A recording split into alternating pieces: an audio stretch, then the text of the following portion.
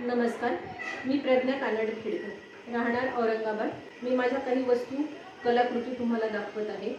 त्यात आहे प्रथम पाहू आपण मोतीवर्क.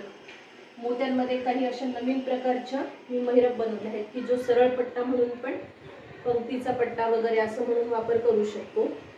काही नावांच्या पट्ट्या आहेत. काही फुलांचे डेकोरेशन करण्यासाठी डिझाईन्स आहेत फ्लॉवरचे. काही समय महिरप आहे काही दिवा महिरप आहे. काही कलश महिरप आहेत. हा महिरप कलशाला खूप उठून दिसतं. असे छान छान डिझाईन आहे. या गणपतीच्या बाजूला किंवा देवांच्या फोटोच्या बाजूला अशा दीपमाळ आपण लावू शकतो. आता मी नवीन प्रकार केला हे कमळाचे फूल. हे तुम्ही महालक्ष्मींच्या हातात किंवा डोक्यावर ठेवू शकता किंवा गणपती जवळही ठेवू शकता. हे जास्वंदाचं फूल पण तसंच आहे. हे बघा ही झाली मोत्यांची कलाकृती. आता मी रेडीमेड रांगोळ्या दाखवते. त्यात काही डिझाईन आहेत. हे रेडीमेड रांगोळ्या म्हणजे तुम्ही फक्त हे पॅचेस उचलायचे आणि कुठेही असे रंग मॅनेज करायचे तुमच्या आवडीनुसार. हे बघा मी जसं हा एक मोर ठेवून दाखवते तुम्हाला. हे झटपट होणारं काम आहे. वेळही खूप वाचतो.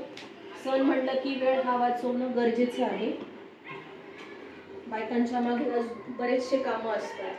तर ह्या सुंदर अशा रांगोळ्या आपण देवासमोर किंवा ठराविक ठिकाणी मॅनेज करू शकतो. त्याप्रमाणे अजून मी नवीन काम चालू केलं आहे हे उलन मॅट. हे बघा. हे आपण मॅट असं आपण देवासमोर किंवा सेंटर पॉइंटला हे ठेवू शकतो. त्याचं मी हे तोरण बनवले तोरण म्हणून वापर करायचा नसेल तसं भिंतीच्या साईडने तुम्ही साईडने असं मी दाखवते तुम्हाला. हे नुसतं फक्त घ्यायचं आणि असं भिंतीच्या बाजूनी ठेवून ही रांगोळी तयार करायची. तसंच हे हा एक हे एक डिझाईन आहे. हे कमळ आहे. हे कमळही एक सात आठ कमळ घेऊन तुम्ही गोल अशी समयभोवती डिझाईन करू शकता. किंवा याला चिटकवून असं गणपतीच्या मागे तुम्ही लावू शकता. आता गणपती येणारच आहे तर त्याला बॅकड्रॉप म्हणून तुम्ही हे वापरू शकता. तसंच हे कॉर्नर्स आहेत. हे कॉर्नर मॅनेज एकत्र केले की असं हाफ डिझाईन होते चार एकत्र केले की पूर्ण सर्कल बनतं. तसंच एक हाफ डिझाईन आहे.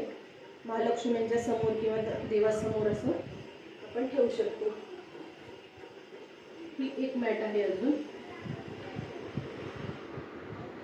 अशा कलाकृती आवडल्या असतील तर माझ्या व्हिडिओला लाईक करा शेअर करा. माझा नंबर आहे nine four two one double three one double two one. धन्यवाद.